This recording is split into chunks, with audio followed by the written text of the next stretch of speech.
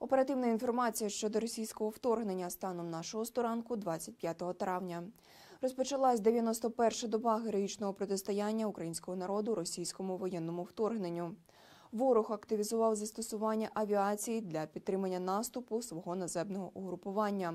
На Волинському та Поліському напрямках до семи батальйонів Збройних сил Республіки Білорусь продовжують виконувати завдання з посилення охорони білорусько-українського кордону. Не минула загроза завдання противником ракетних та авіаційних ударів з території Республіки Білорусь. На сіверському напрямку ворог продовжує посилювати прикриття ділянки українсько-російського кордону, обладнує опорні пункти в прикордонних районах на території Брянської області. Окупанти продовжили артилерійські та мінометні обстріли позицій сил оборони та цивільної інфраструктури у Сумській області з території Російської Федерації. На харківському напрямку основні зусилля противник зосереджує на утриманні зайнятих позицій. Обстрілював з артилерії цивільну інфраструктуру в районі населеного пункту Рубіжне. Крім того, ворог здійснив чергову спробу ведення наступальних дій у напрямку Тернової. Успіху не мав.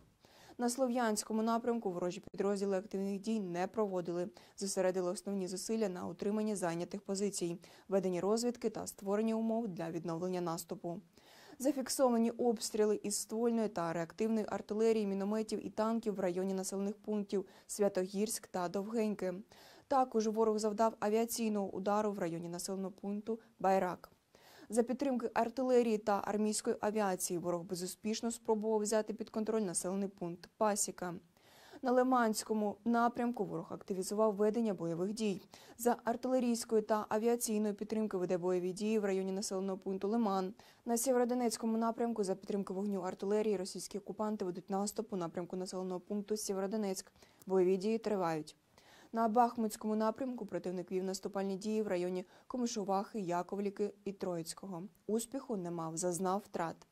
На Авдіївському напрямку ворог не припиняє мінометні та артилерійські обстріли позицій сил оборони і цивільної інфраструктури в районах населених пунктів Авдіївка, Піски, Мар'янка, Оріхів та Новосілка. Застосував штурмову та армійську авіацію в районах Кам'янки, Авдіївки і Новомихайлівки.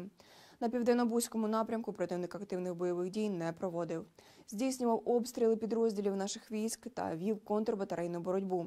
Проводив заходи інженерного забезпечення основних шляхів, сполучення та мостів.